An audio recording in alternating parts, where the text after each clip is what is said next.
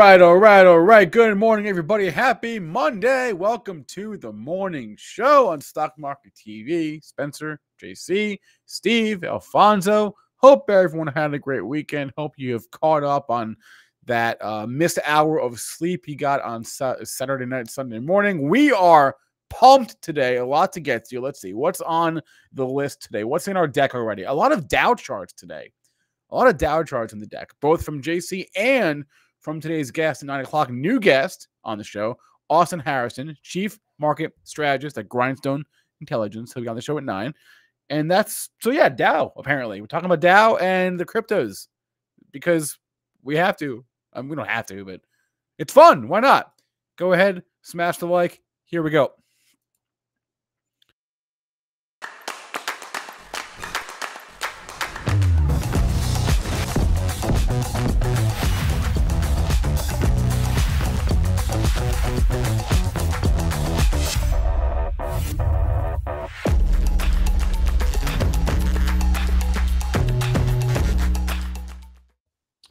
Oh, all right, all right. We are back. Everybody have a good weekend. Phil Blotsky in the chat. You nailed it.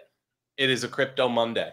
Crypto Monday. Crypto Monday. Um, you know, listen, uh, a really interesting weekend. Had some conversation with some folks, not uh, civilians, like real folks. Mm, And mhm. um, you know, the civilians are certainly not uh, asking me questions. Even the real folks, uh, like the professionals. You're Nothing. wrong. Really? You're, I'm wrong. I'm having a different. I'm having. Oh, Like- fine, but I'm not wrong about my experiences. I'm I'm sharing. I'm JC, sharing. You're wrong about your experiences. Are you just? Excuse are you me? just, are you just like not talking to enough people? Are you? Are you getting out there? Like, are you leaving the house? I'm getting out there, bro. Getting I was, in. I was in the big city, New York City, on Thursday. I don't know if you've heard of it. No, yeah, no. You usually you're good at getting out there. So I just I didn't know. I'm just, I'm not getting, I'm not getting that exuberance. There. Okay. Are so Saturday, my buddies are talking about Shiba Inu, specifically Shiba Inu. On Which the buddy? Are the, and and they're not, These- but these they're are- traders. No. No, no, no. Do they know about Shiba Inu because of you? Uh, one of them is a diver. One is a construction worker. I will ask again. Do they No. know about Shiba Inu because of you? No. No. I- Okay. Nope. All right. Listen, my, my other buddy was over here installing an antenna on my house Friday. Uh, was it a helium antenna? yeah, so I, all right, so I got a new iPhone. Helium was trading at like a penny, and I didn't re download the app. So it was offline for almost a year. I don't, I don't know how to get back my old account. And there's like a Mm. new app now. Any experience with with lost helium? Well, we're gonna have um, we're gonna have some professional helium miners uh, come on and, and chat. Well, I haven't asked them yet. I'm here volunteering their time. I'm hoping that they will come. I think they will. They're good. Oh. They're good eggs. We should have done that already. Let's let's yeah, we need we need to do that. That'd be a great Well, conversation. you know, we've been we've been busy doing other things, but they've I I get privy to these conversations, but I want to share that with uh, with everybody else because these are smart guys. You know, these are old uh, Exxon Mobil like engineers. Like these guys are like way smarter than us. You know what I mean? Yeah. I think it while it's not like late cycle stuff, people are talking about it. And also, just remember like think back a couple of years cuz like how quickly how quickly we forget how bad some of these narratives are. Mm-hmm. People will never trade crypto again. It's dead. These people have lost so much money, they'll never go back to it, right? First of all, I would argue, I know some friends in Miami, part of the community just never went away. It's actually incredibly resilient, these crypto bulls. Um, and they're back. They're back in a big way. People are talking about it. Retail's back. You know, this is why we got to buy Coinbase in the 40s because stupid narratives like this. Like people are just going to throw out this asset class that a whole younger generation. Oh well, well, well, well. Hold on, hold on, hold on, hold on. For the record, it wasn't so much that people threw out the asset class. In a lot of cases, there was forced selling, right? Because of certain circumstances that were taking place, Fugazi exchanges blowing up, frauds, etc. So there was forced selling taking place, which is a domino effect with Fortune's other selling. So yes, I agree. There was silly narratives and things like that, but the silly narratives wasn't didn't cause all the selling. There, there was there was forced selling taking place behind the scenes, as we are all well. There were six on 60 minutes they're telling your parents about it on basic cable all those things we all know what happened so let's remember there's a combination of things can we can we get to the market shall Hold we on. hold on can we get to the market One more question on this because you, you're older than me. I wasn't here for the financial crisis. Uh, to me, crypto, late 2022, the FTX blow up, all the shit that led up to it, the the worst, like the most negative sentiment I've ever seen for any asset class. And again, wasn't around for the financial crisis in my career by far. Worst sentiment ever. Well, I will say this: like in the fi- like in the financial crisis, like in every crisis I've ever studied, but those two in particular for sure, the sentiment was terrible at the end. It took a long time to get there. Right. So I remember walking down Park Avenue, talking with my boy Georgie, and he was my shortstop in high school. And I remember being on the phone with him because he was working um, with, uh, you know, he was he was the one securitizing all of those mortgages and then oh, shit, Oh, yeah. selling them to the institutions. He was that guy.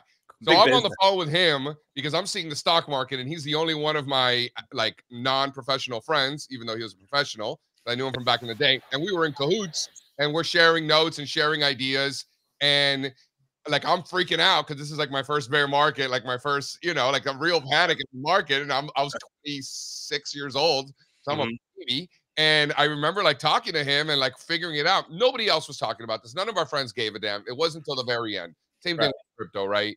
At the very end, FTX blowing up, everybody freaking out. That was the low in the fall of 22. So let's remember that that sentiment only gets there at the end. Just like your your normie friends are asking you about cryptocurrencies, maybe Strazza's are already asking, mine are not. I told you when my high school friends start asking, I will let you guys know it has not happened yet.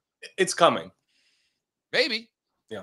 I, I think I think it I think it I think it doesn't come till Bitcoin gets to 100 or at least in the 90s. Let's Well, see if I'm right. Let's see if I'm right. well, that's coming too. I don't know if you checked this morning. I think it's coming too. Why don't you hit that bumper, Spencer? I don't know. This is a fun conversation though about when the Bitcoin sentiment bottomed. Because I'm Steve. I'm with you. It, it You right. It was. Yeah. It, It was, was really I'm, bad. I'm telling you when it bottomed. it was bad though. Remember those magazine covers in November and December of 22? That's the Yeah. bottom. It carried into Q1 and then prices started rising and that Yeah. changed it. But it, Imagine that. it didn't change until then. Hit the bumper, Spencer.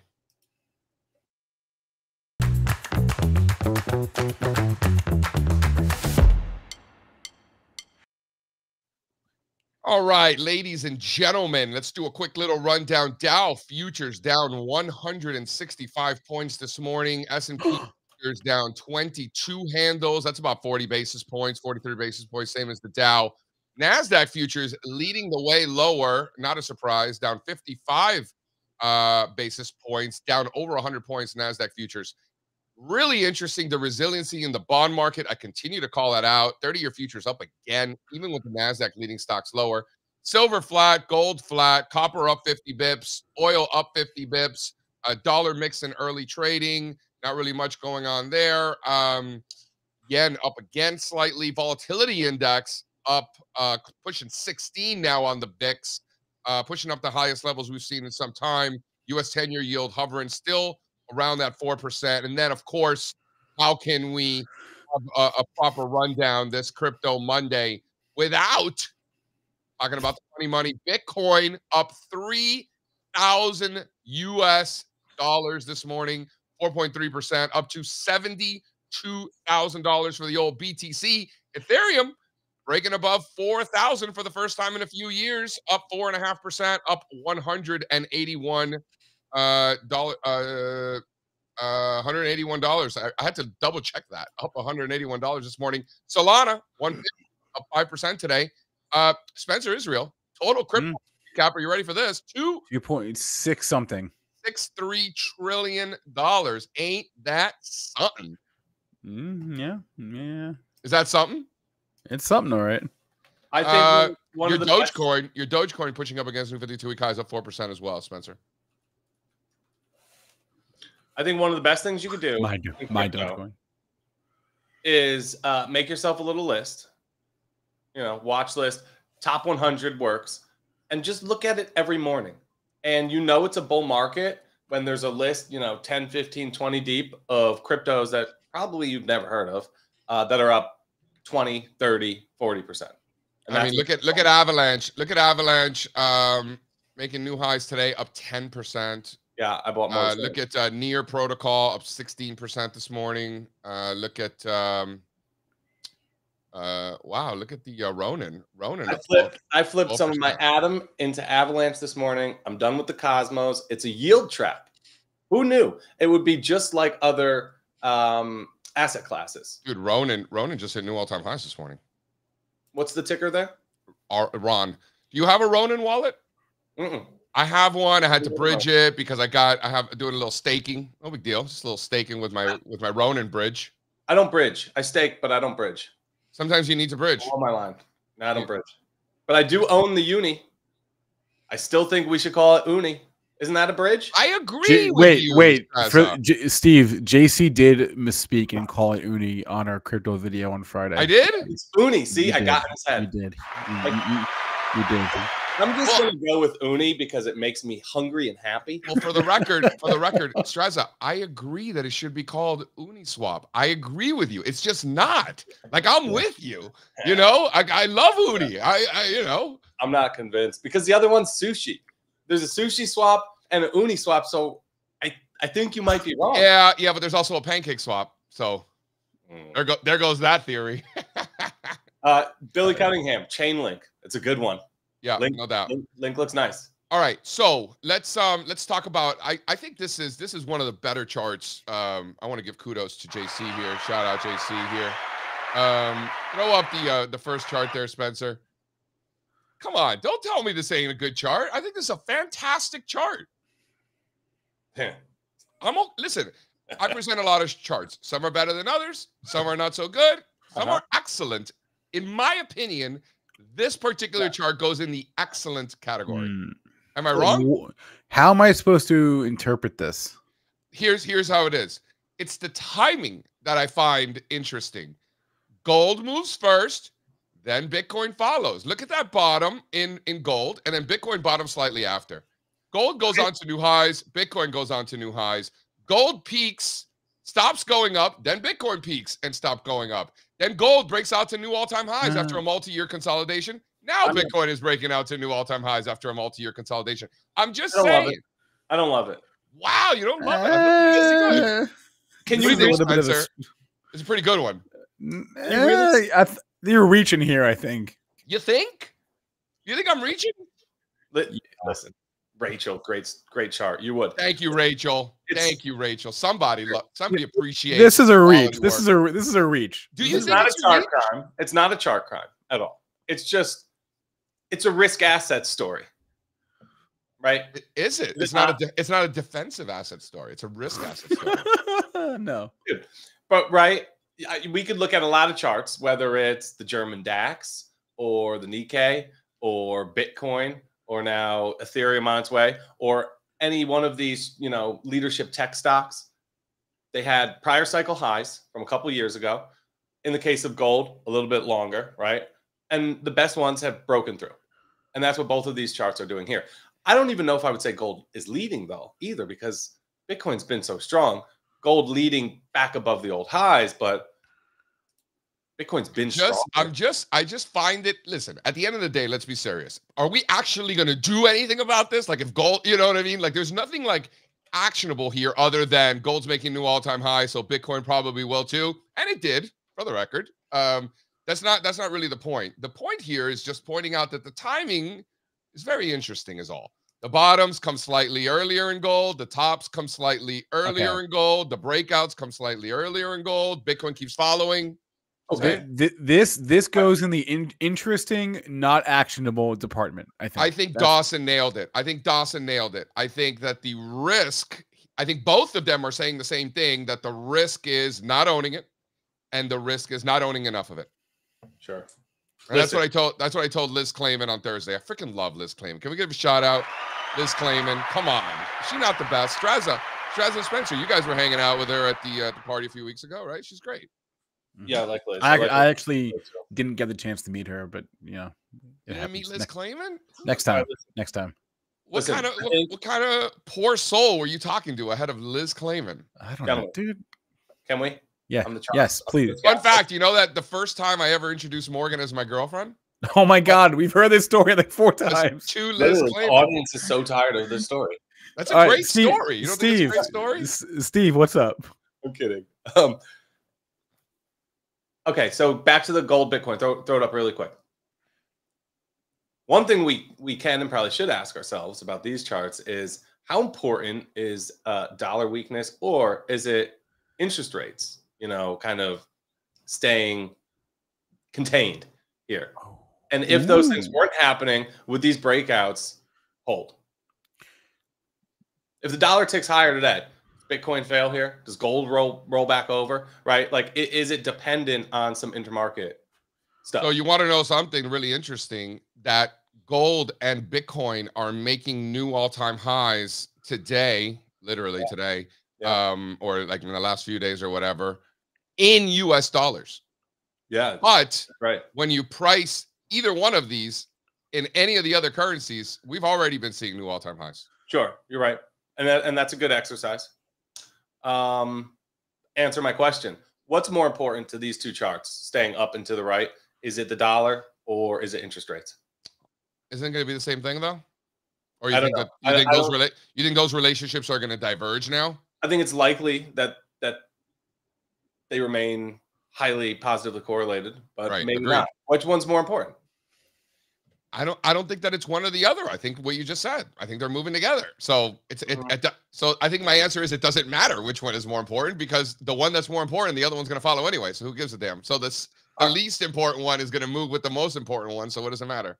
Are the new highs and, and the you know just monster technical breakouts from these two assets is is are those markets telling us that we should probably expect more weakness from the dollar and lower interest rates in the future? You know, it, it- it's hard to argue against that.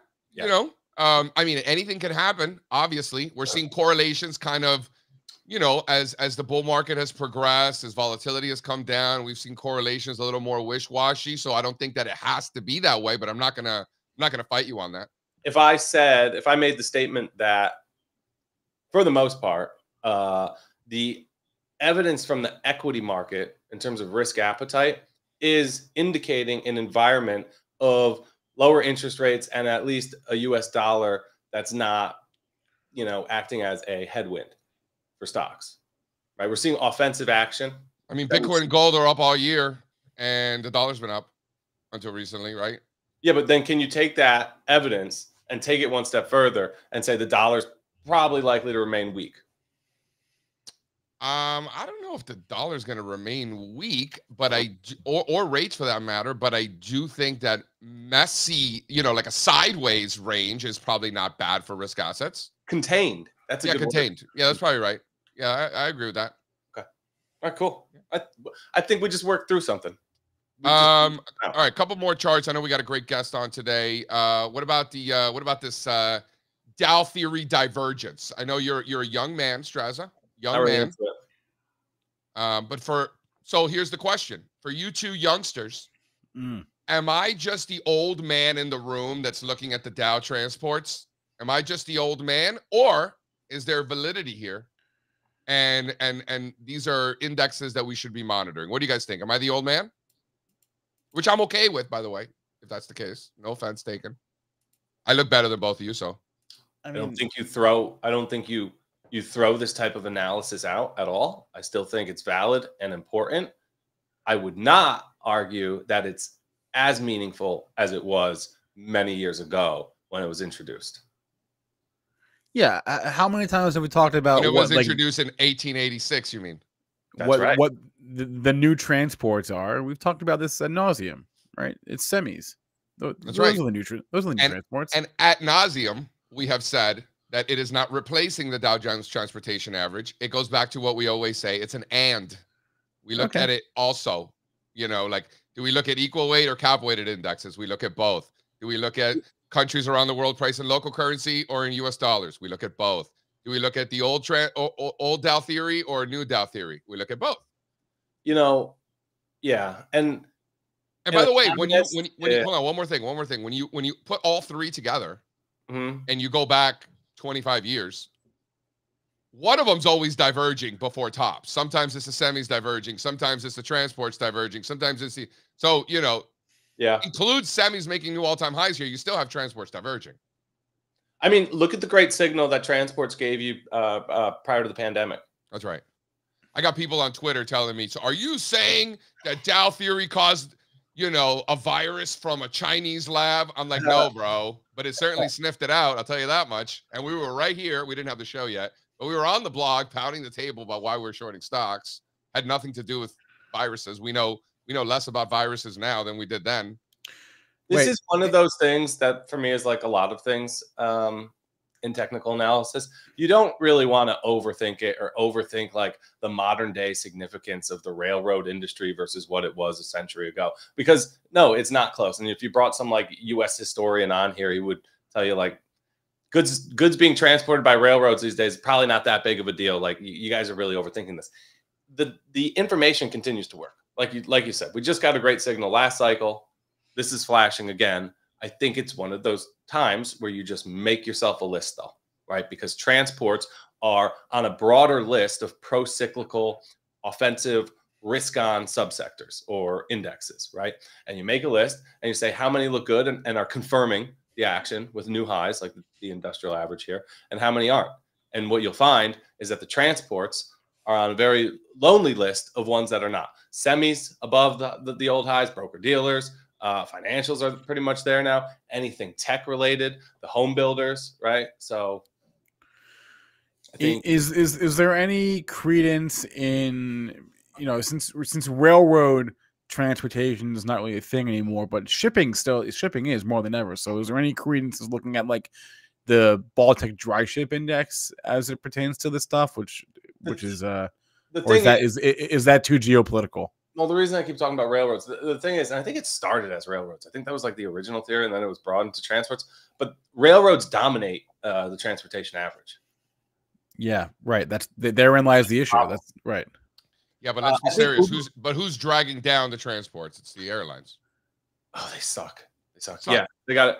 They shouldn't have so many in there, uh, and they're also very bad. Did you see that SkyWest airline?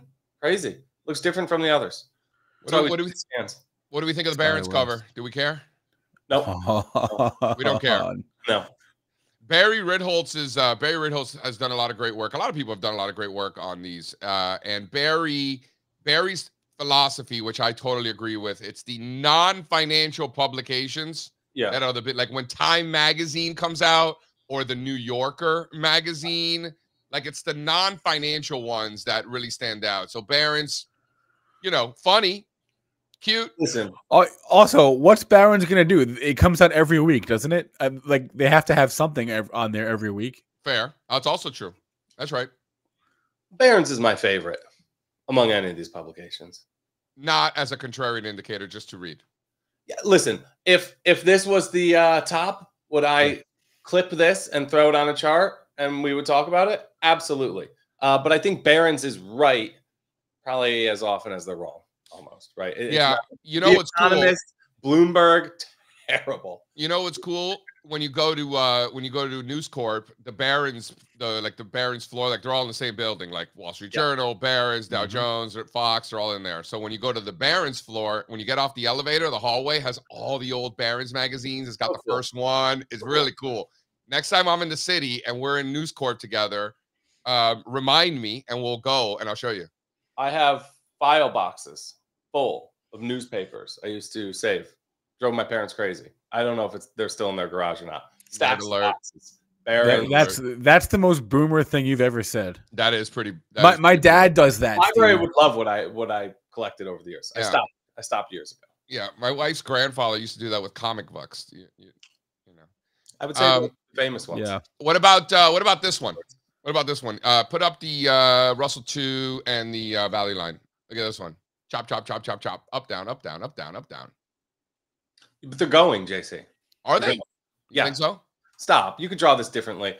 Uh, Like at first it was I could draw this. I didn't draw this. This is just the data. Yeah. I didn't draw anything. There are actually no and there isn't a single annotation on this chart. It is literally just price. Put my so chart tell up, me, tell me, tell me about me my drawing. Put, put my chart up, please. What is gonna be? Fight of the charts now? It's I mean, he doesn't he doesn't like my drawings. Nobody fucking drew anything. It's just a price. What is this? I, I'm sorry that you don't like the price action. You don't have to like it. It's at new 52 week highs. The base is complete. The long term moving average is, you know, steadily curling higher beneath price. We're above this key shelf of prior highs. This is as clean of a primary trend reversal as they come. And you're Right. gonna sit there and draw it and and kind of like like pose the question, what a mess. It's not a mess. This is a trend reversal. Round Now, now, now, what would have to invalidate your quote unquote trend reversal? 200. 200. So if, it, if it's so if it's below 200, you're completely full of shit, and my drawings are actually nice. Uh, listen, we've seen right. enough, we've seen enough failures at the upper bounds. You think? You Yeah. think? You really want to make the bet that small caps just are not going to participate? They're not I'm going to not. be able. I'm not. to, I'm not short small caps. I'm. I'm not sure at all. I'm not sure short small No, but I guess my point is like, yes, we see the base. This is a very textbook technical reversal pattern. Yeah. why, don't, um, why don't you zoom out one more year so you could show all of that former support that we're running into now? Why don't? How convenient. Yeah, you left that out. The path of least resistance is now higher. How, how convenient. Why don't you zoom out one more year and show the folks that former support that you're running into? But really, Why don't, why don't you draw? way- Why don't you draw that resistance line in Q1 of 2022 where the Russell 2000 failed and rolled over? Why don't, Why don't no, you you don't draw? want to do that either? I drew my line where there's the most price memory. The market continues to tell me. You drew and you over drew over your line 2022, below my line, right? Your line, your your your chart is below my line, that 200 is the level here. beneath my line. Can it be more Below obvious? This is called, so this is the principle of polarity. It's that former resistance can often turn into support. So if we were to get a throwback to that 200 level or 2000, the Russell 2000, I would expect demand to Okay, well, why don't we go over quickly the principle of, of common sense? Mm-hmm. What happened to the Russell 2000 last time it was at these exact prices? I think the pr- the principle of common sense would suggest that why wouldn't this base and small 25% end up looking- drawdown or like Why wouldn't this base look like every other base that we've seen over the past year? Why wouldn't this Maybe it reversal pattern be valid just like every other one? Isn't I that hope the it right is. way to be I hope this? I hope it is. That Uh-huh. means that bio are, that means biotechs are probably doing pretty well. That means regional banks are probably not disappearing. Um, that means that industrials are probably not doing terrible. Maybe even small cap tech will stop sucking now all of a sudden. That that's a possibility too. You know, it's funny because my mentors taught me not to fight trends. That's You know- right. That's right. So it's just, you know, it's man, that was good. That, Steve, that was a good one. That's right. And and who's this fight, and, and and and and are your mentors fighting this particular trend out of curiosity? you know, I, hmm, ah, I don't know. Is there any evidence about it. whatsoever that any of your mentors are fighting this trend? Please.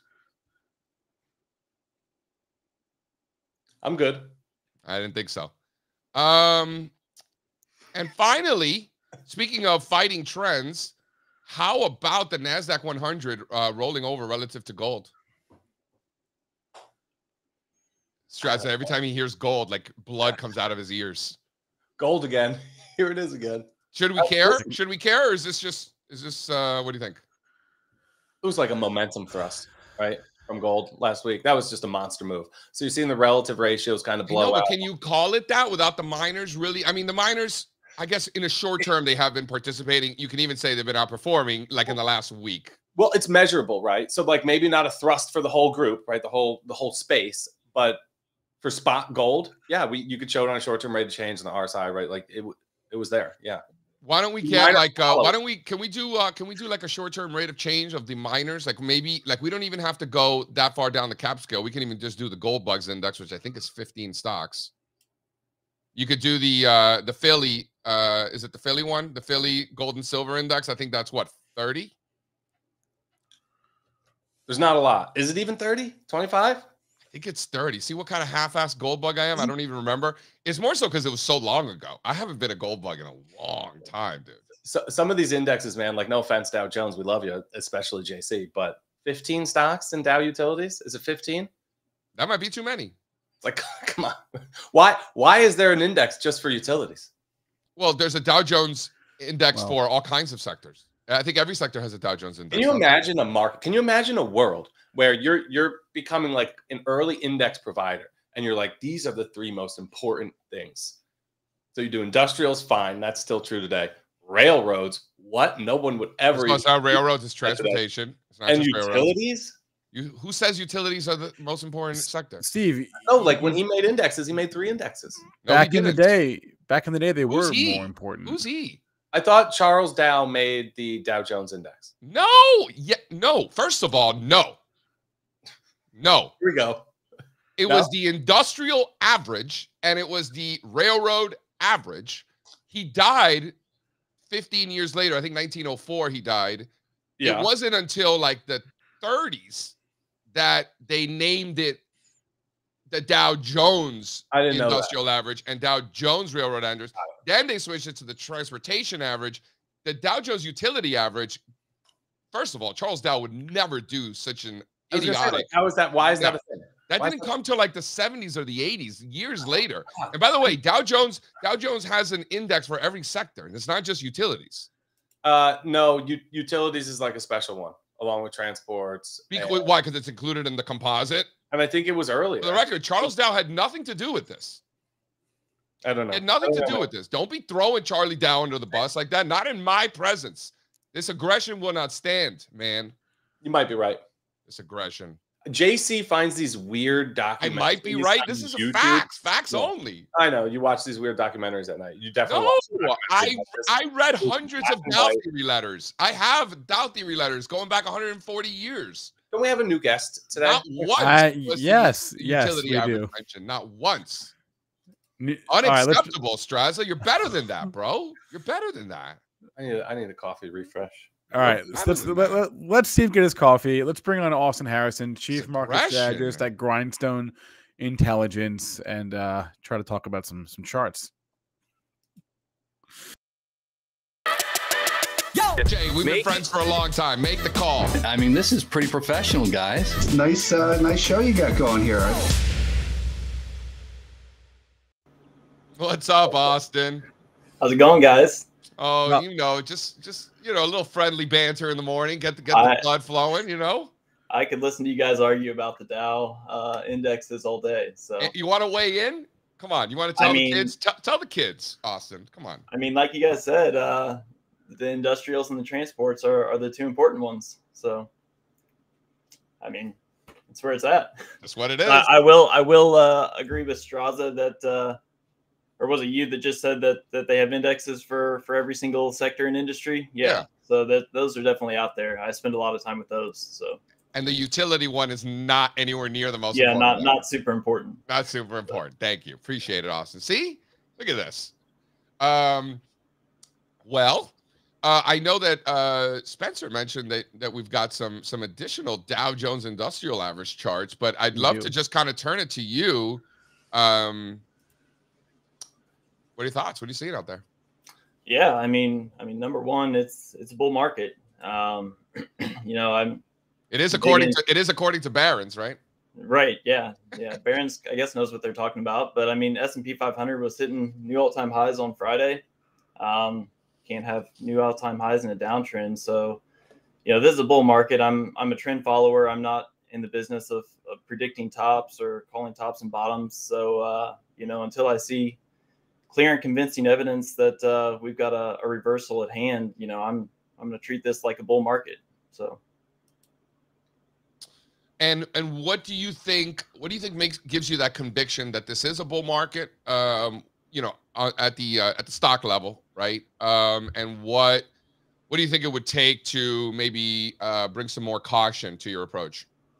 Yeah, I mean, I, I think you know, as far as seeing the the conviction that we're already there, uh, or that we have, are in a bull market, we're already there. Um, you know, if we look at at the list of new or uh, new 52 week highs on the S and P 500. Those peaked, um, you know, back in December, but uh, you know we've been seeing uh, an increase in the number of new 52 week highs on on the S and P and the NYSE and the Dow, um, really for the past month, month and a half. So, yeah, I think you got that breadth thrust back in December. Um, you know, it's really hard to to continue setting new 52 week highs when you have a breadth thr- thrust like that. Um, so we have, I guess, what you've been calling it is is kind of a stealth correction below the surface, but you know now we're getting that increase, and I think I think we're there. Um, you know, and we really just haven't seen an increase in the number of new lows. Uh, I mean, you obviously can't expect to see a bunch of new lows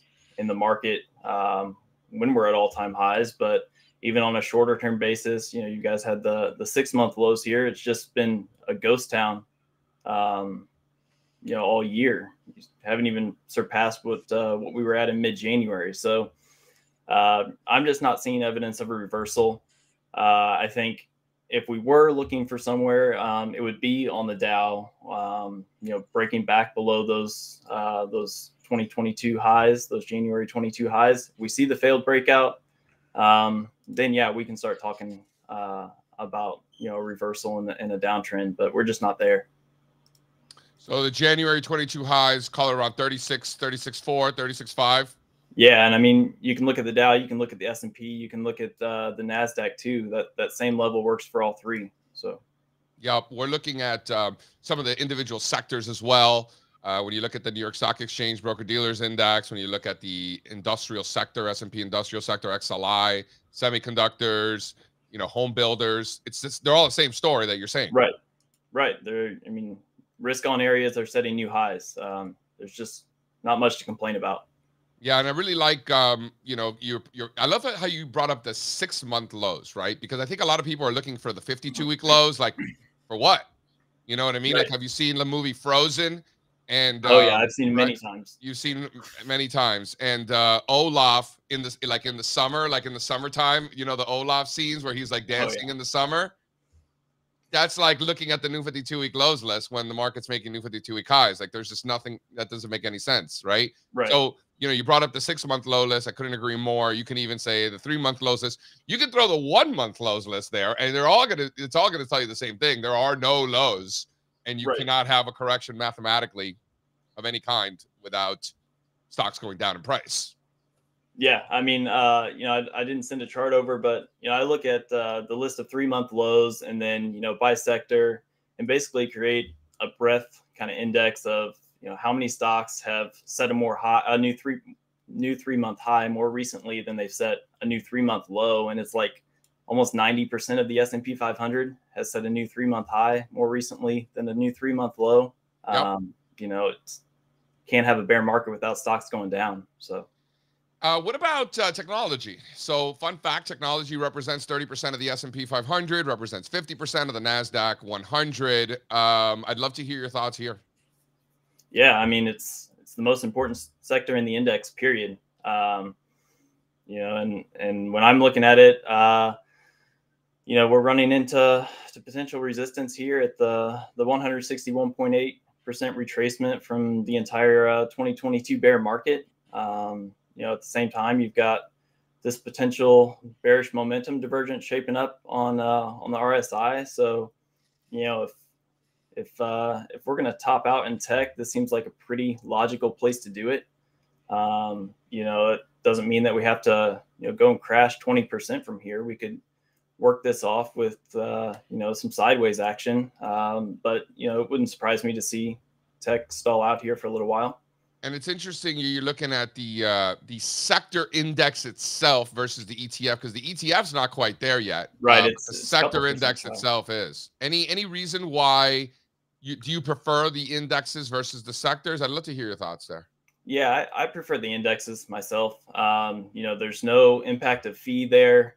Um, you know, the uh, the alternative view, I guess, is that uh, this index is not actually traded, but you know all the the underlying uh, constituents are. So you know I prefer the indexes. It also really helps if I'm looking at you know relative strength ratio charts. Um, you know different ETFs can have different fee structures on there. So I like looking at the the indexes themselves.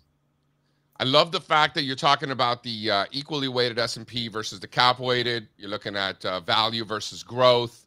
Seems to be yep. a very similar story happening there, right? Yeah, yeah. Uh, so if uh, you know the the argument all last year was that breadth was weak because the equally weighted index was underperforming the S and P 500. I mean, it just that narrative didn't really hold up. It wasn't you know a a breadth problem. It was just you know different leadership. Um, you know, all the the biggest stocks in the S and P are are all growth stocks. Um, so when growth stocks are outperforming, you know the cap weighted index is going to outperform. Um, you know, if during that uh, that bear market of 2022 is the value stocks leading. Um, you know, in that same same regime, you had uh, the equally weighted index outperforming.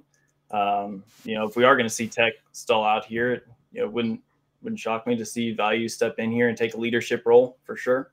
But yeah, I think relationship is pretty clear that it's not really a breadth story or a size story. It's just a kind of a market rotation story. So if these two lines stop falling, small caps are outperforming large caps. I think that would uh, that would make a lot of sense. You know, the small cap space.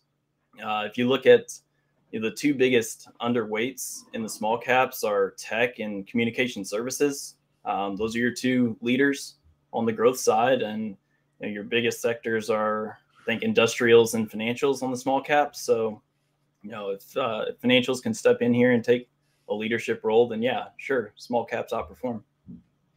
When you talk about the underweighted, I'm sorry, Spencer. When you talk about the underweighted, you're comparing it to the weightings in the large caps, right? Yeah, to, to the S and P 500. So, like, if you look at the Russell 2000 tech exposure versus the S&P tech exposure, it's half, for example. That's what you right, mean, right? And there's virtually like no communication services in in the Russell 2000. Right. And the ones that are have nothing to do with Google and Facebook. Right, They're, yeah. They're like They're actual actually, communications. Yeah, they're telecom companies. Right, and right, not- right, right, right. Wait, I I, I want to bring up this uh, regional bank chart. This is interesting to me here. Um, just because every day another headline: regional bank this, New York Community Bank that, commercial real estate this, uh, bank failure that. Uh, but so this slide 14 here, yeah, this interests me. What are you seeing out here, Austin?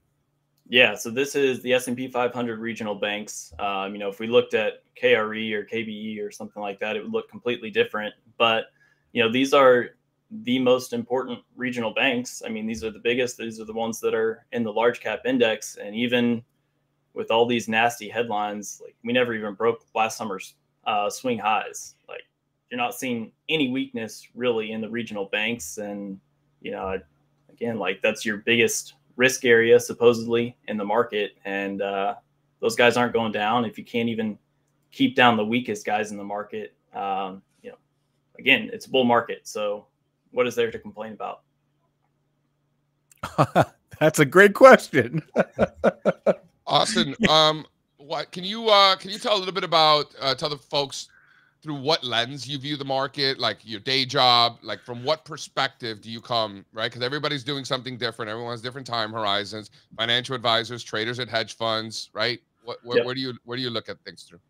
yeah so uh, you know i write a daily newsletter uh, with grindstone intelligence um, really just trying to help folks stay on on the right side of the market um, i try to stick to three core themes there you know, trend following relative strength risk management.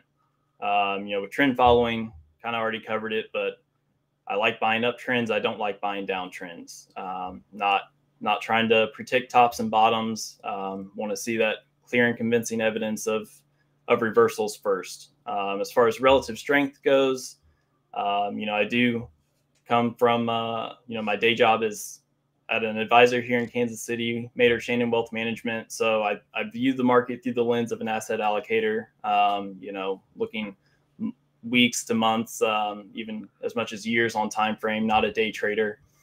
But, you know, as an asset allocator, you know, we have limited at uh, limited capacity, so we can't own everything. So, you know, there's always opportunity cost in whatever we own. Um, you know, I never want to be trying to build a portfolio of saying, "Oh, here's a great chart. Let's get a little of that. Here's a great chart. Let's get a little of that." I want to be knowing, you know, how's that comparing to what else I could own? Is it, you know, equities versus fixed income, or equities versus commodities, or you know, if I'm in equities, how is tech doing relative to the rest of the market, or you know, how is energy doing relative to tech? Um, know, always want to be focusing on uh, on relative strength, and then risk management. Um, you know, obviously, nobody likes losing money, so that's an important part. But when I say risk management, I'm also talking risk management of a thesis. So, you know, whether I'm bullish or bearish, or I like equities or, or commodities or whatever it is, I always want to know, you know where's that thesis no longer correct. Um, you know, they always say it's it's okay to be wrong, but it's not okay to stay wrong. But you know, if you don't if you don't know ahead of time where it is that you're wrong, then it's it's hard to. do. So gi- Uh, give us give us some general rules of thumb there that you follow for when you might reassess your thesis. Yeah, and, and I want to reiterate what he just said, right? Because we talk about a lot of risk management for a, sport, a particular trade. You know, like oh, we own the call option, so there's your risk management. You could add another layer on top of that, but at the very least, you can't lose more than what you invest because it's a call option. Or you know, if, if we buy a breakout in like Strazza was talking about the Russell 2000 IWM, if it's below 200, that trades off the table, right? So those are specific trades. So can you, to Spencer's point, can you like contextualize? I love this this sort of philosophy of uh, a, a, a general thesis. It could be interest rates higher. It could be, you know, energy rotation into energy. It could be whatever. Um, but having, and it's probably not just one thing, right, Austin? It's probably Right. Things that would invalidate a particular thesis. Can you talk about that a little bit? Yeah, I mean, we talked about uh, kind of the thesis right now. This is a bull market of, of where do we reassess on that? Um, you know, with failed breakouts in in your Dow and your Nasdaq and uh, you know your your S and P 500 below those 2022 highs. But you know, a couple of rules of thumb uh, for me are if you've got something trading above a rising long term moving average, it cannot be in a downtrend. Um, so you know, if you're ignoring, you know, those those trailing indicators, then you're on the wrong side. You know, if you're below a falling moving average, you cannot be in an uptrend. Um, so those are are the clear and convincing that hey, I, I'm doing something wrong here. Um, but then you know, it's just kind of a weight of the evidence approach. Um, you know, there's there's never we never want to be putting too much on on one particular indicator. It's you know a body of evidence. Um, you know, just just over time. So doing this doing this every day and and making sure we're doing all the work underneath the surface. Are you from Kansas City? Uh, so I grew up in Central Missouri, um, small town, but yeah, They I got they got those there, right? yeah they got they got a few of those there. So, but yeah, I'm in Kansas City now. And what's up with the? There's quite the community of financial professionals in Kansas City. Um, I mean, just so many, right? Yeah, I mean it's it's huge. Uh, creative planning is based out of Kansas City, Yeah. so that that helps a lot. Um, but yeah, Does it? Is that like kind of like the? Does it kind of like revolve around that because they're so big? yeah, I mean I feel like it kind of has to. So to a certain extent, they're huge. So, but How yeah, long I have mean, they been around now? I don't have the answer. But hockey stick in terms of AUM. Yeah, they're they're just growing like crazy. So credit That, to them. that attracts other financial professionals and it kind of builds the ecosystem around that. You think that, would- that that that really has had a big impact on the community, huh? I would think so. Yeah. That's really interesting. Um, and uh, you're a baseball player. I see that in your background. Yeah, Former? former, former. Yeah, I'm I'm long since retired, so I haven't thrown a baseball in a couple years. But uh, yeah, I did Oh, have the is that you? opportunity. Is that you celebrating there? No, that is uh, when the Cardinals No. walked off with David Freese. So Ooh, game oh, yeah, six. that was, that was Yes. a great one. Um, watching that from a Oh, college yes. dorm room with a bunch of other baseball guys, but Where'd you go to school? uh, small small school of Benedictine College up north of Kansas City. You played So- ball. Yeah, I got to got to pitch there for a couple years, so All right. What'd you uh, What'd you top out at? uh, we shouldn't talk about that. I'll I'll I'll, I'll show you know I'll show you mine if you show me yours. Yeah, I think uh, on my best day, I was probably living 85, 86. Beat me. So- I had 84, and I think I had the wind behind me on that day. Yeah, You know, yeah, I think so you got me beat. a lot of off That's, speed. that's why we're here talking about the stock market and not pitching in the bigs. That's right. You know, a lot of off speed, a lot of a lot of location. So Yeah. Yeah, I was a poor man's Greg Maddux, and by poor man I mean like homeless. You know, like really, poor really, really, Yeah. dude. I heard a stat the other Yeah. day. Um, so Greg Maddux, uh, he he faced twenty thousand hitters over his career, right? Of those twenty thousand hitters, he only had a 3-0 count like three hundred times, and of those three hundred times, hundred and seventy of them were intentional walks. that's insane. Isn't that Yeah. crazy, dude? That's absolutely crazy. crazy. I just read that stat yesterday because I was talking about it with my father-in-law, so it's fresh in my head. Isn't that nuts? That's yeah, I can't even imagine. So I probably went He was a freak in I nature. of probably nature. went 3-0 that many times in my Yeah. college career. So And he was a prankster too. I don't know if you guys know this about him. I've heard a lot of stories from some pro baseball players over the years, and uh, he was he was bad, like disgusting pranks. Like he would take your shoe, your your cleat, and take it into the bathroom and do his business, and then put the shoe back in your locker. Like He was Oh, na- no. He was a nasty dude. That's, That's messed up. That's, That's disgusting. Uh, That's good. Austin, I'm gonna I'm gonna ask you one more question before we let you go. Um, Yeah. Talk to me a little bit about energy. You know, I know you like to think about big picture themes, right? You're thinking weeks and months. I love that. Um, what are- what are the chances? You know, when, when, when at the end of the year, uh, when we look back at the best performing groups for 2024, things like that. Uh, you think energy is going to be closer to the top of that list, closer to the bottom of that list, maybe near the middle? What do you think? Yeah, I'm not sold on it. Um, you know, if we look at S and P or uh, S and P 500 sector energy relative to the S and P 500, um, you know, I'm looking at resistance. You know, we're below the the 2022 and 2023 lows. Um, as long as that's the case, I just I just can't see energy as a leader. Um, for me, crude oil looks range bound. Yeah. Um, it's just a giant mess. You know, if we're breaking out to the upside, sure. For for crude oil, like sure we can get behind energy. Um, but yeah, I just I don't see it right now. And what about uh, what about what about Oh, there we go. tips kind of hanging in there, outperforming uh, the last few months? You know, Yeah, it's, still it's still kind of range bound. Yeah.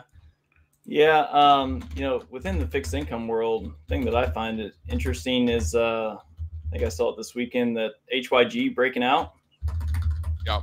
Um again, just just further confirmation of a bull market, in my view. Like if uh Would you consider that HYG an actual breakout though? uh I guess I mean, we're still below mean, those former highs. Yeah, we are still below those former highs, but um, you know, it's new three month highs, right?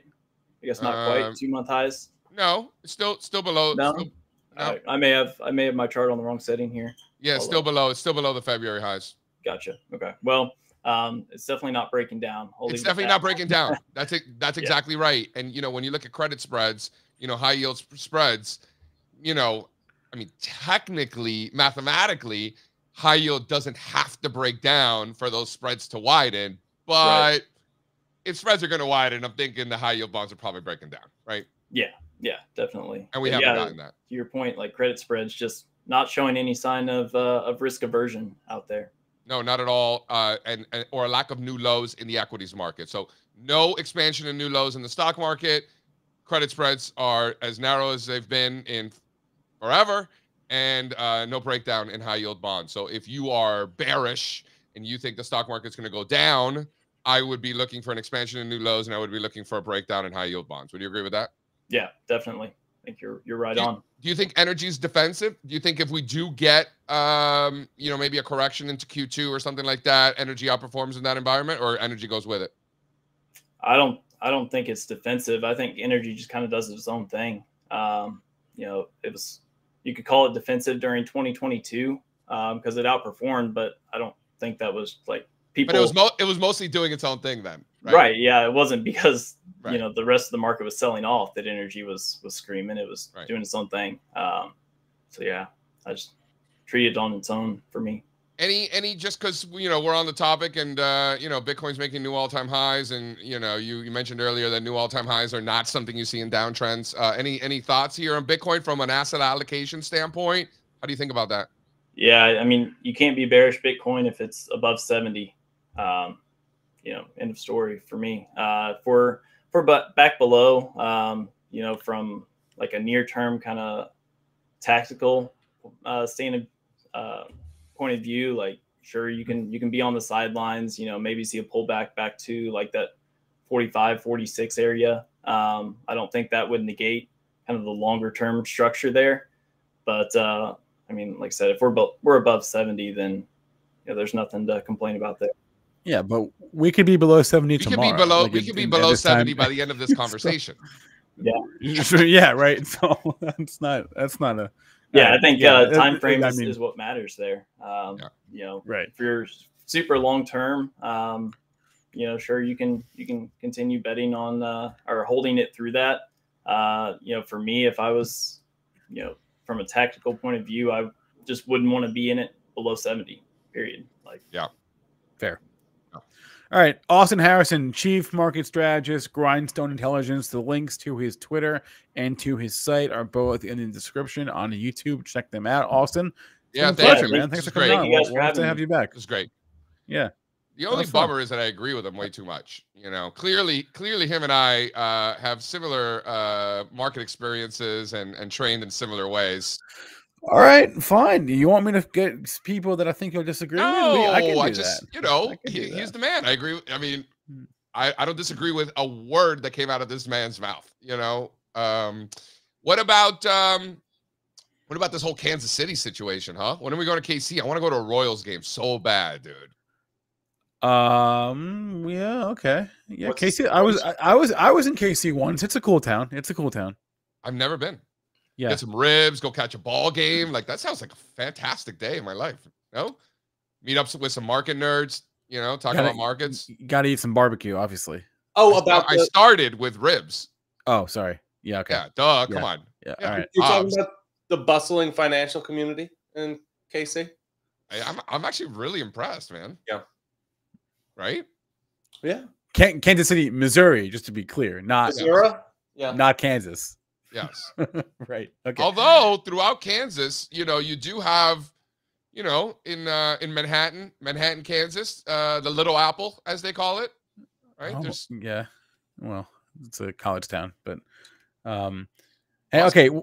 On the topic of Bitcoin, shout out to uh MicroStrategy doing what they do. what about know badass. Buy, Come on. buying twelve thousand more bitcoins. Michael Michael Saylor was on uh, CNBC at eight thirty, but I Oh. couldn't. Oh well, I'm sure he's talking about how they made. Well, in that case, he must be important. um, I like to hear Yeah. what he's. You know, I'm sure they would ask him a couple good questions at least about buying more at all time highs.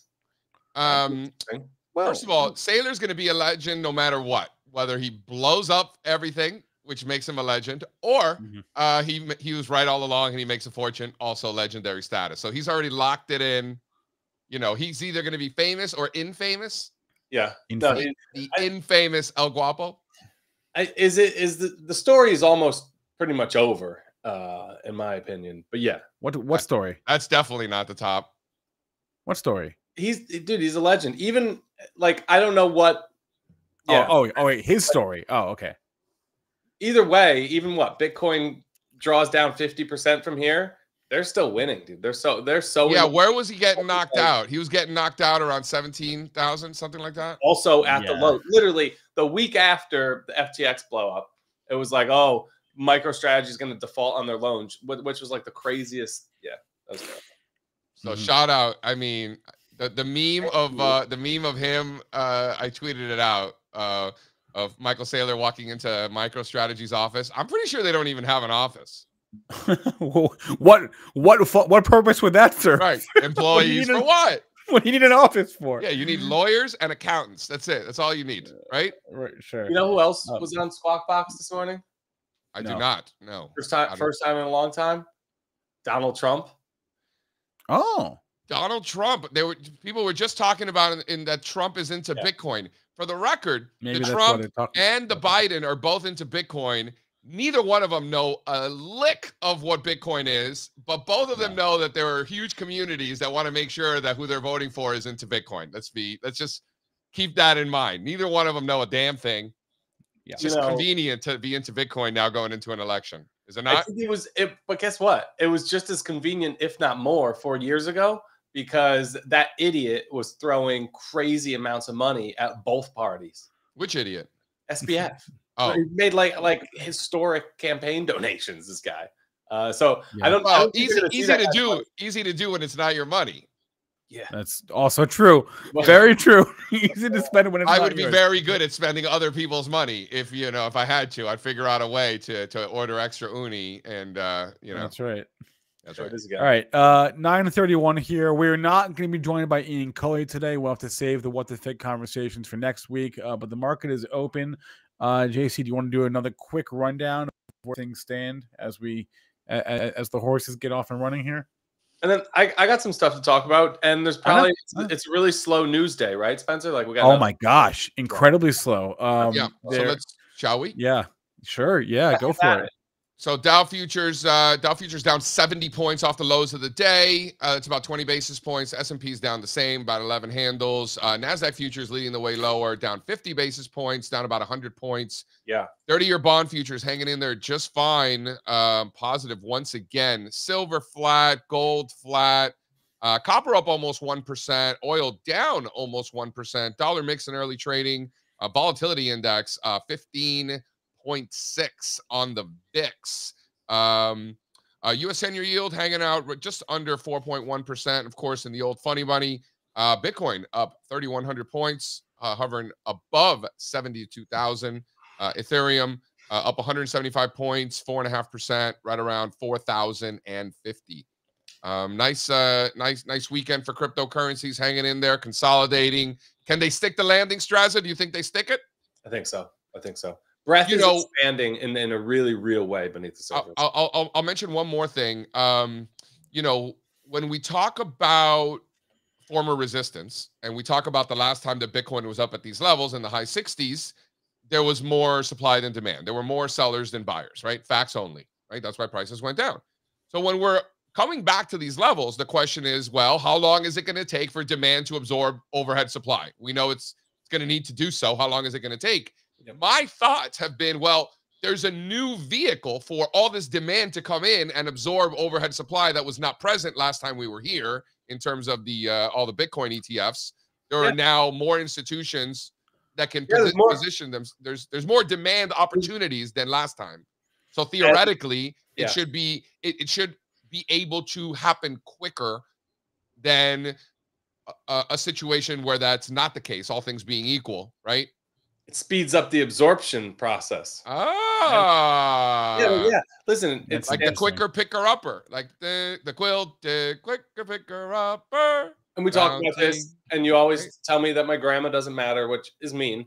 But there are just more buyers now. Nobody right? said your grandma doesn't matter. I'm sure she's a very nice lady. institutions, right? My point is, there's just a lot more buyers right now. So So I'm not hating on grandma. I'm not hating on grandma. Sure, she's lovely. I'm sure she she hook up hook up a nice meal. Too. Yeah, it's it's never been easier for anyone in Right. America to buy Bitcoin. Listen, Right, this but- was a real thing. And JC, you know this. Like, there were people who would have been down to buy some Bitcoin, but they just wanted to be able to do it in their Fidelity account. They, Yeah, they those- weren't going to ever use Coinbase. They heard all the horror stories about FTX. But that's their problem. But that's their problem. But That- that- all that- those they're not the people- people that are scared to go on the blockchain chain are not going to move the prices higher. I think people you're that are going to move the prices higher No. are the institutions. because the institutions were those people. No. They weren't going to do it either. They, Well, they weren't allowed to do it. They weren't allowed to do it. No, No, they wanted no, no, it's- they wanted it's a trusted counterparty like BlackRock or Fidelity or somebody like that in the space. They didn't want to deal with a Coinbase or an FTX or a Binance. In some cases, I would agree. It's they preferred that. In most cases, they just were not allowed. Yeah. First of all, first of all, Um, you're- when you say not allowed, you're talking about RIAs. Mandates. Yeah, asset No, I'm managers. talking about hedge the- funds, pension funds, family offices, the mutual funds. The companies real money. These these financial institutions. I'm not talking about the people who manage assets for them. They can go buy Bitcoin and stuff No. stuff it in their treasury if they want Nope, to. they Yeah, they not. could, No. and they are. They have been. No, no, they could not. I don't know what you're talking about. They absolutely could have. Fidelity did it. Fidelity did it years ago. Do you mean? Strazza. Anyway, all right, all right, yeah, moving on. I this is a, a, d- You're a debate with the L. no. You're wrong. This debate has no correct answer, really, because you're just both How long speaking is No, Fidelity? generalities. I am correct. He's saying dumb shit. I am correct. Uh, I don't know. I, don't, I got charts. I feel like you're both right and wrong. Uh, well, I, I, I just want to mention Nvidia real fast. Uh, after the day I had yesterday, I know. Yes, thank Uh, you. I have charts pe- for this. I have charts for this. peop- throw up the video. Okay, good. Bring them up. People love to focus on, at, you know, focus on a hot is stocks this that- not in the Dow? I mean, after big on. down days. It's gonna Yeah, be wh- next. wh- They got to split first, though, right? they're gonna jump to Google. They're going to jump to Google in terms of getting into the Dow first. Yeah, but the, the Google already split. Nvidia has not. So they the can split's got to come tomorrow. first. They can do that tomorrow. The- Fine, but they, they, gotta haven't. wait. Uh, the Dow just made a new decision. Yeah, but there's no rhyme or reason as to when they do that. Uh, yeah, all right. Well, they don't. Yeah, okay. Uh, so go, Spencer. I love this conversation. I can't wait Yeah. to share my thoughts. okay. Um, you go. Unless you want me to say, here, Oh, I guess here, here, well, here's all I'll say about Nvidia. Um, I'm always mindful of uh, when there is some kind of a potential catalyst down the road, and in Nvidia's case, they have their big AI developer conference that starts on um oh mon- next Monday next next week all week next week is or the first half next week is this big fancy schmancy conference for AI developers. I'm sure they're going to unveil, unveil a ton of shit. Um, and I'm always mindful of things like that that are going to be in the news later. So keep that in the back of your mind. Strazik, go for it. Catalysts. Yes. Hmm. All right. I'm sh- I'm shocked that I'm the one bringing this up as as you know my, my co-host seems to be looking so hard for every little you know insignificant piece of bearish information. I have not said one bad thing about semiconductors or Nvidia all year. My point is maybe there might be something bad to say right now. This is your moment, right? So I'm My always moment. myself- I don't have. I don't have a horse in the race for the record. And number Oh, two, sure. number two, one day does not make a trend. All right, no horses. Yes. All right. Yes. fine. I'm always when I'm flipping through my charts, I'm saying, is this how bad things start? This is one of those, this is how bad things start charts. Show the one day rate of change to semiconductors Friday. And you didn't know this if you just looked at your account in the morning and then, I don't know, went golfing. You had no idea. AMD, Nvidia, they were up three, four, five, six percent in the morning. Hard reversals. Worst day since December of 2022 been over a year, you know, since semis have really just puked like that. If you look at these candles, we have these, you know, nosebleed, almost vertical uptrends uh, with just these monster bearish engulfers. And if we get follow through today, you're right. One day doesn't make a trend, but follow through today probably doesn't feel so good uh, for this group over the short. maybe, yeah, maybe, but you got to see follow through. One day does not make a trend. And you know what I used to do when I was a lot younger and stupid? I used to think that one day made a trend, and that was Uh, that was tough living. No one's saying that. No one's saying that. You're you're arguing with no one, right? But this is how I'm bad. not, I'm not having start. making an argument. I am I am I am ha- we're having a discussion about one day's action.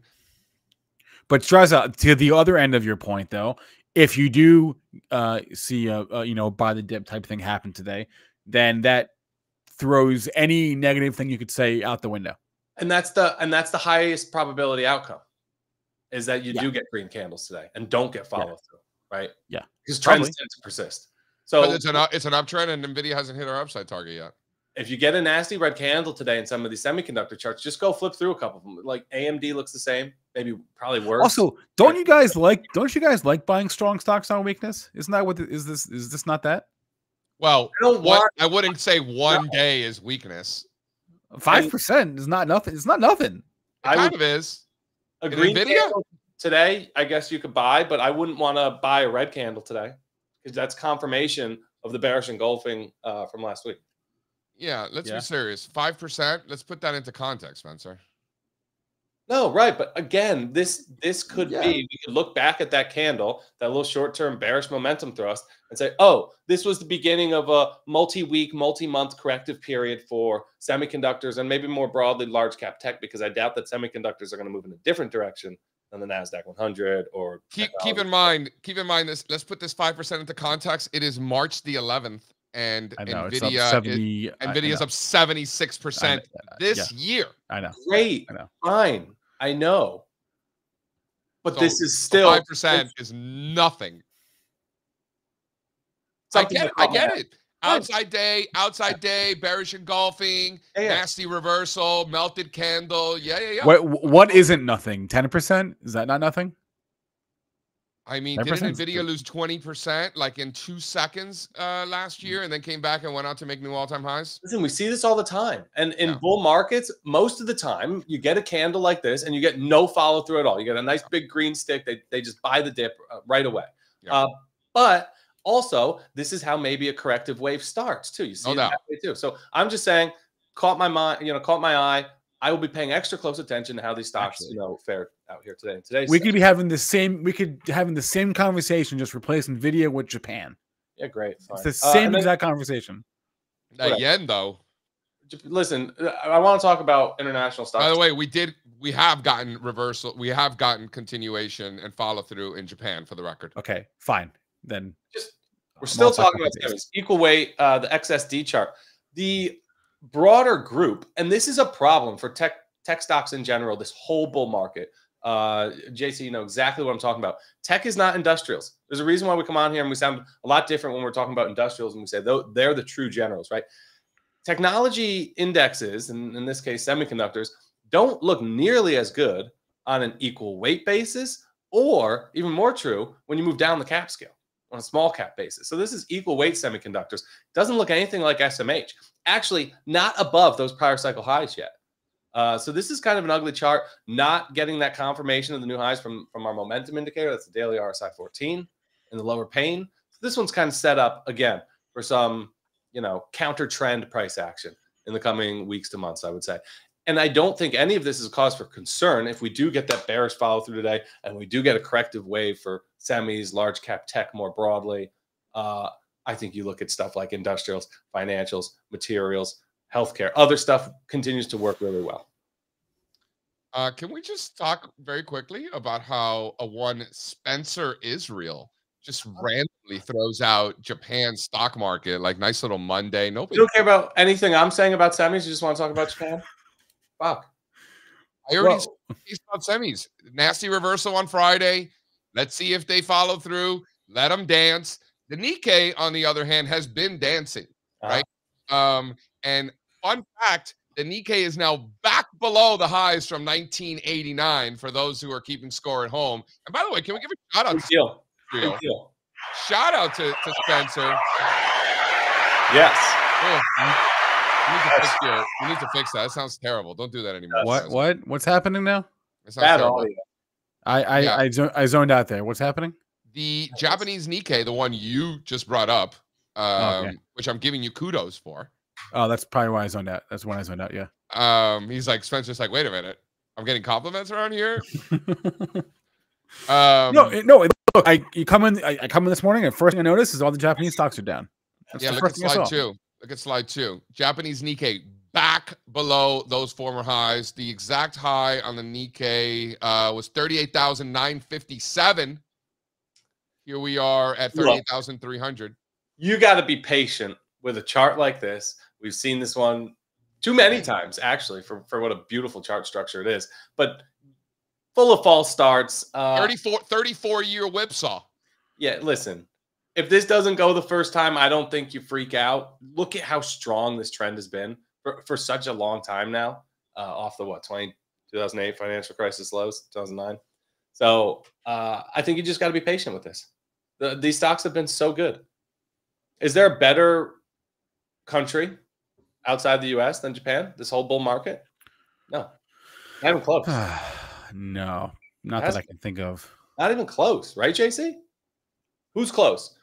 And I'm not talking about like I'm sorry, Argentina and stuff like. There's weird stuff going on in some of these uh, EMs, but it's been Japan. Uh, and the all right, worst so- so- So okay, so don't freak out if we retrace a little bit here. All right, I, I'm with you. It's not about freaking out. It is just um, interesting to note that Japan is not breaking out of a 34 year base, but in fact is actually failing at the same levels that it failed at in 1989. And listen, we could talk about this too. There are really good things. Wait, Like- th- but both the wait, huh? That's What- both what? those things are true, JC. What things? Which things? The base and the and the breakout. What- Well, what- it, it failed. It didn't break out. What now? What? Nikkei did not break out. It failed. well, one one day does not make a trend. Uh, agreed. Agreed. It's been a week. W- One week. All right. I like what Strazza said about more, but continue, Steve. Sorry. a week. I I agree. One day does not make a trend. That's why we weren't talking about this on the first day. We're talking about this a week later. All what right. third point, Strazza? I don't know. What, what, what were you just about to say? And then I interrupted you. I don't. I don't. I don't know where you're going with it. I got bad data here. I'm having a data issue. Uh, throw up chart three, four. There are other groups that we could look to, or other international indexes, and say, "Oh, Oh. wow, there's a lot of strength there." Also, right? Trying to get the Germany one as well. Here's Germany. Bullish By the way, Ireland. By the way, these are priced in dollars, correct?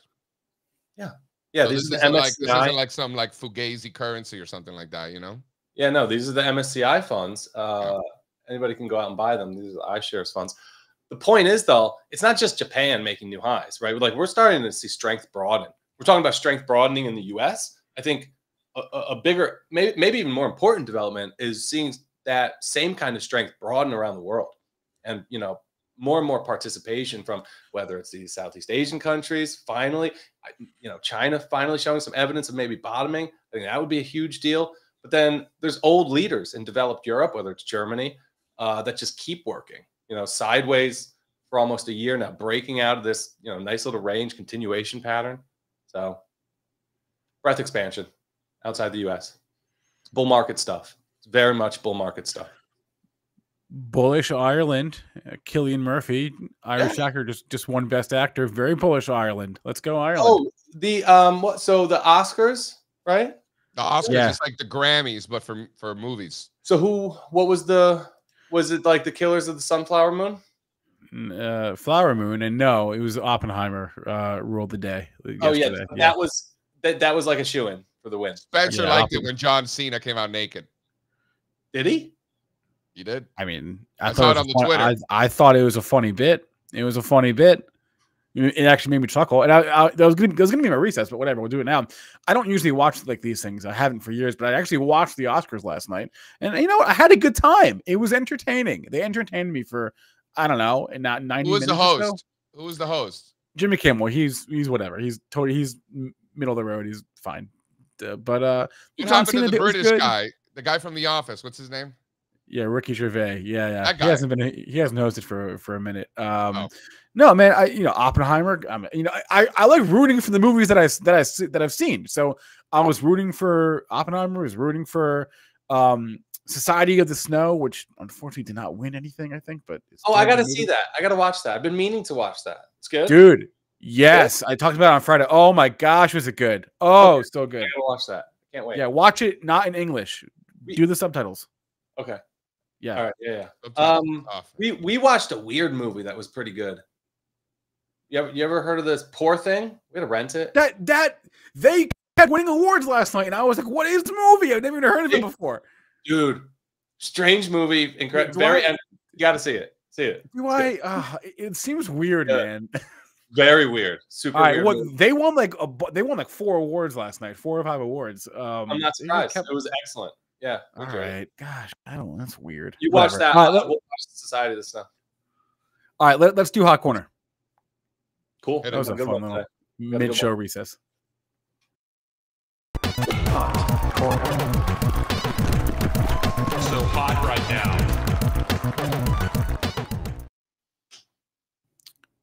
We got some So- action We got- Archer Aviation, Spencer. What do you know about them?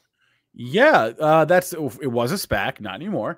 Um, and they're doing the the uh, Helicopters, swoop, right? swoop, swoop, swoop, swoop, right? Yeah, Yeah, yeah. yeah. Short, like short distance chopper right. The, the the Uber for helicopters. Yes, yes, really that's cool. them. So, so Joby is also another SPAC daddy that I believe is working on similar uh, innovations. This seems like uh, Stellantis, like, like Chrysler, Fiat, Yeah, I, right? very Uh, interesting that they're the ones filing. Want some skin in the game? Listen, Oh. it's it- So hold on, but and it's not nothing. no, It's serious cha cha. It's uh fifteen point six million dollars. Maybe for a company like Stellantis, it's not a lot, but it's a It- lot. it yeah, it's a lot. Um, I'm sure it's probably going to end up being more. What's the cap on? One point four. It's small. Not super One point- material, One right? point four Uh, yeah. Okay. All right. Yeah. What, 1%? Is that what that comes out to? It's like 15, right? Um, what's up with uh, what's up with uh, EchoStar Corporation? Why is their tick- ticker symbol SATS? Does that have anything to do with Satoshi's? Star. That's a satellite company. The one that I'm more interested here is Snowflake. So Mark McLaughlin, name ring a bell? No. Heard that name. I said, Mark McLaughlin. What do I know him from? Who is that? Um, former chief executive, chairman, yada, yada, yada, Palo Alto Networks. Ooh. Uh, Oh, Ooh. guy. So obviously did some great things over there. Uh, Palo Alto, pretty much in one of the clear leadership spots uh, in this you know bustling new industry that is cybersecurity. Snowflake is one that you know the street's really excited about. Uh, this was one of the hottest IPOs of the past few years. It's just a mess. Uh, what did they have? An executive departure, right, at the recent earnings. Either way, the market didn't like it. Back in the box here, uh, but this guy's coming out buying a sizable amount of shares, and um, it's probably just good to have people like that on your board, especially when you're you know still kind of a startup, like or newly public, even in Snowflake's case. So this this purchase stands out a lot. But just like the Russell 2000, you need a 200 handle or two handle on this one. It's got to be out of the box, completing the trend reversal before you want to uh, really take a shot on the long side. Would you agree? I mean, I'm not touching this. 200 is probably right. I would say even 205. Um, and even then, you got a gap fill. This thing's got work to do. Hey, If, if this thing wants JC as a shareholder, it's got to get its shit together first. you know, did you ever think we would still be talking about those August 2022 highs going on two years later? You know, this looks a lot like the Russell 2000 chart you showed before. That was a clear breakout. It was Yeah. very, it actually looks very similar. Yeah. So You listen, you want to show that again, Spencer? This clear breakout that Strauss is talking about in the Russell 2000 that happens to look exactly like this one. I'm at this point in the cycle, I'm looking for what I'm calling in my head late leaders. I want the late leaders, right? The early cycle leaders are not always the leaders of the entire cycle, right? show the snowflake. Snowflake. Yeah, they're similar. But listen, this is the pattern, right? This is the pattern right here. This is the same one that we continue to buy. You want to see the relative trend look like this, but be breaking out to new highs. And you want to see the absolute trend doing the same at the same time, right? Because that to me says there's a good chance here that this this one could continue leading over intermediate and long term timeframes, right? Because it's completing a primary trend reversal versus the broader market that indicates more leadership or more outperformance in the future. And just completed a trend reversal in absolute terms. Checks both boxes. Those could be late cycle leaders. Those are the stocks I think, you know, those, those are the best opportunities right now. That's what you want to be looking for. Could could you also like, and I think I know the answer to this, like fish around the 52 big lows list, but wait, obviously. It's just a tougher trade. It's not Yeah. that it And, won't and there, are, there aren't many of them, Spencer. So if you're making the new, yeah, 52 but if there- you're making there are the a new couple. 52 week lows list, you really suck at life. I've I know. done. I- I've done it, but it's a different. You want to trade it differently. You know, I C Limited comes to mind. We were buying like the little scoop and the failed breakdown there, with the idea that this will probably eventually look like a base, right? So why don't we trade it up the right hand side of the base? It's choppier, it's messier. Yeah, I like just going naked calls if the uh, implied vol is right for something like that. Which it generally isn't if it's making it for the two week lows, by the way. So it's tough. Um, there's something there, but why not keep going back to the well? The same pattern, the same primary trend reversal that's continued to reward us for a year and a half now. Just it's the same playbook. I wouldn't I wouldn't change it up now. Um, I have a confession to make. Can we go to recess? No. okay. Early recess. Early recess is 9:54. I got a good one. We, we can do recess, sure. A really, really good one.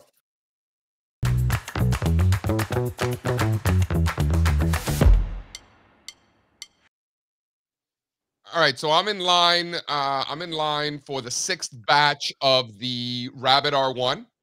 Right. What i- what is that? What yeah. English. It's a little AI device. It's called a companion. what are you doing with that? So I am just playing with it. You know how I like to play with the toys. Um, but this particular device is an AI device that is not an app on your iPhone, but an actual separate piece of hardware that you hold in your hand. And it it the idea behind it is that it actually takes action. So it's not like ChatGPT or all these other things that like they won't actually do something for you like an assistant it'll just give you information or like you know stuff like that right? Basically unprompted, this will like offer Wait. suggestions. well you also teach it over you have to time and it prompt gets to know you personally is my understanding This is uh, but it, it, it connects to all your apps. So instead of having to go to your iphone and be like oh let me go to spotify and put on biggie smalls or whatever it, it could it goes to my spotify. It knows that spotify would be my preferred playlist versus pandora let's just say uh, it knows that I use Uber, not Lyft. It knows I use Grubhub, not DoorDash. It knows that I use, right? You know, like it already has my preferred applications for a particular situation. So here's my confession. That's So cool. I was I was in the sixth batch uh, of shipping, right? So shipping is uh, Easter, is my understanding for the first batch. oh, you don't have I- it yet. So hold on. Yeah. So I got so desperate. Here's my confession. So Yeah. desperate to get the new toy that I went to eBay Yeah. and I paid double the amount Figured. to be on the second batch. All so right. I'll get mine in. I- I'll get mine in April or May, is my understanding. I don't it- it, Wait. like. It's cool, but it like what you just described. I, it's got to be cooler than that because it kind of sounds like an Alexa. Well, to be fair, well, Alexa doesn't take action, and Alexa is dumb as rocks. Uh, so is the Google one, and so is the other one. Wait, All wait. Can, can this can this take action uh, with other devices? Is that what you're saying? can it take action with Yeah, other like- different kinds devices? things, dude. Yeah, of course. Yeah, yeah, yeah. Of course, that's the whole point. It it it it it, it works with it connects all your applications. Okay. By the way, just for the record, I am not Mm-hmm. an expert at AI or tech technology devices. Quite the opposite. Whenever I get into this world, I feel so dumb, which I'm totally. It's like me walking into Lowe's. Like I'm just like a fish out of water, like looking for somebody that works there to help me. This is like me going to Lowe's. I don't know. But if you go to the Rabbit R1, just Google Rabbit R1 YouTube video. There's like 5 million hits. You could watch the gentleman present, you know, like the iPhone moment of Steve Jobs. Like it's kind of one of those things, but for this. And he explains it and actually uses it. And like he's going to do a way better job of explaining it than I ever could, for the record. I So admit this it. is the I'm Rabbit excited for you. R1. I I admit that I've never heard of this until So I got just two now. of them. I got one of them in, in the second batch, and I got one of them in the sixth batch. You know, seriously, JC, like what what what do you read like resource wise or, or podcast you listen to or people do you follow on Twitter to know about kind of you know the latest innovation? It's things. This thing's got, been going viral forever. Wow. Look at the YouTube. It's got, got, got like, it's like five million hits on YouTube or something crazy. Okay. All right. Wow. Yeah. Uh, how much is it? Two hundred bucks, hundred ninety nine dollars. Oh shit. No I know. That's what I'm saying. So I said, ah, what the hell? I'll buy one. And then I was like, man, I really want one. So I'm, I Oh. paid 450 bucks to get another one that I'm getting in the batch two. I thought you were gonna. I thought you were gonna come on here talking to me about a, a rabbit. Uh, well, this is called, this is the Rabbit. It's the name of the company, Rabbit R1. I thought it was gonna be like an actual rabbit. My brother-in-law's got one of those. Pain in the ass. Uh. All right, Spencer. What do you got? I was gonna talk about the Oscars, but we just did that, so um, kind of nothing. Uh, the Big East tournament is this week. I'm just gonna say, yes. it- maybe not in its current form, but the Big East tournament from when I was a young adult, probably the best sporting event for me, at least. Like it is just such a blast. First of all, the competition back in the day was insane. Syracuse, Pittsburgh, UConn, Villanova, Georgetown. Miami. most competitive conference. And you you take the train in. Um, all of the tickets are for two games, not one. You could leave and come back. It's like a day in the city. It's just a blast. So I want to. Uh, I want to. I want to share. Strazza comes to the perspective from somebody who lives in Connecticut, Yeah. and I can tell you for a fact, going to the Big East tournament in the city is such a Connecticut thing to do. It's just oozing out of you right now, Strazza, which is which is cool. Uh, we used to come from UConn for it because we were cheering for our team. But yeah, okay. Yeah, no, I get it. We did when we were in high school too. We did that also. Such a Connecticut thing to do. If you're Were you hanging there around, in 2011 when Kemba did his thing? Were you there for I that? was in Can. Uh, no, 2011. I was working. That's another really cool thing during March Madness or these um, conference tournaments. If you ever worked at a hedge fund or financial services, they're watching the games and it's actually a blast. You're having like an office party. JC, do you have any experiences like that? Like Yeah, the, very the much so. daytime sports yeah, at these hedge funds and stuff. We so I remember exactly. I was actually at Interactive Brokers watching when Kemba Walker uh, broke his kneecaps or whatever. did did the thing? Yeah. I could cry. Thing. Oh. again, s- I was at Interactive Brokers. Such a Connecticut thing to say. Yeah, I'll never forget where I was at that because I wanted to be at that game, but it was busy Yeah. season. Nice. We were trying to get we were trying to get a 10k out, dude. These 10Ks always getting in the way. They did. Damn right. No, but you can see, you could see, like, you could see the mob coming from Grand Central, walking to uh Madison Square Garden, like with their UConn gear and their khaki pants, like very Connecticut living, like a vest, you Well- know, like a vest and then a UConn hat. You know what I mean, Well, Spencer? part of the memories for me, like what I'm thinking is the, the train ride in is just a party because it's Shit show. everybody just you know. So there's I respect it. I respect it. Yeah. I do. All right. It is Monday, which means we got the Flow Show, 11:30 a.m. Eastern Time, right here on Stock Market TV. Strazza and Sean finding an options trade on the fly. That's how they roll. Uh, thanks to our guest today, Austin Harrison. Thanks to everyone hanging out in the chat. If you'd be so kind, hit the like button. Check out all of the links to all of our good research and emails, uh, free and otherwise, uh, in the description on YouTube. And that's what I got. Go make some money. We'll see you later. Adios. You con. Run it. I can't take no loss. I don't even know what it